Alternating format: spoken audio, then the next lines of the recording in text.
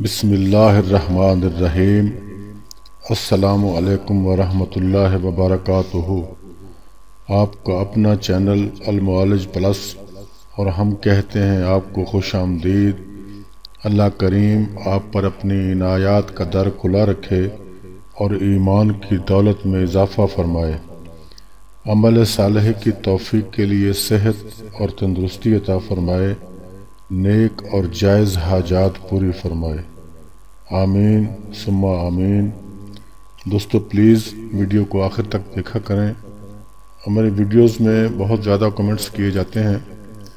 तो अगर वीडियो को आप पूरा देखेंगे तो हमें लगता है कि आपको इतने कमेंट्स की नौबत नहीं आएगी। तो चलिए चलते हैं अपने आज के मौजू की तरफ़। असर का एक इंतहाई छोटा लेकिन बेहद पावरफुल अमल आपकी खिदमत में पेश करने जा रहा हूँ और इन ये अमल फौरी तौर पर असर दिखाएगा और ये अमल सिर्फ़ आपके मतलूब ही के लिए नहीं, बल्कि ये अमल ज़िंदगी के हर मैदान में आपका साथ देगा। अगर वालदेन किसी बात से नाराज़ हैं तो उनके लिए भी आप ये अमल कर सकते हैं। और अगर औलाद किसी बात से नाराज़ है तो भी ये अमल किया जा सकता है। अगर आप किसी ऑफ़िस या किसी इदारे में काम करते हैं और आपका बॉस या कोई दूसरा सीनियर आपसे नाराज़ है, या आप ये चाहते हैं कि वो आपसे हसन सलूक से पेश आए तो इसके लिए भी आप ये अमल कर सकते हैं। अगर महबूब नाराज़ हो गया है तो उसके लिए तो ये अमल आजमुदा है। अब अमल का तरीका सुन लें।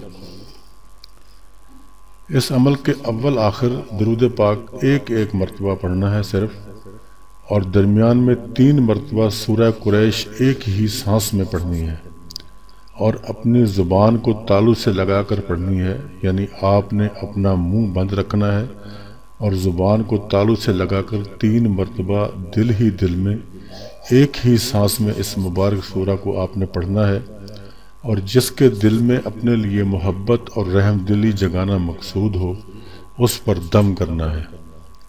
लेकिन इसको पता ना चले कि उस पर दम किया गया है।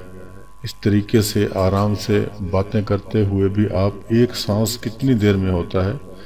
एक ही सांस में तीन मरतबा इस सूर्य पाक को आराम से और आसानी से पढ़ा जा सकता है। तो आपने एक ही सांस में इसको पढ़ के और अपने मतलूब पे दम कर देना है। ये अमल उसी वक्त होगा कि जब आपका मतलूब आपके करीब मौजूद होगा। अगर किसी का मतलूब मुल्क से बाहर है तो ये अमल उनके लिए नहीं है। उनके लिए दूसरे अमाल मौजूद हैं हमारे चैनल पे। तो ये अमल सिर्फ़ उन्हीं लोगों के लिए है जिनका मतलूब उनके सामने है, उनसे मुलाकात होती है। और ये फौरी असर करने वाला अमल है और सबको इस अमल के लिए हम इजाज़त आम देते हैं। आखिर में फिर वही पुरानी बात कि प्लीज़ सिर्फ़ जायज़ मकसद के लिए ही इस अमल को करें। कोई भी गलत इरादा ना रखा करें।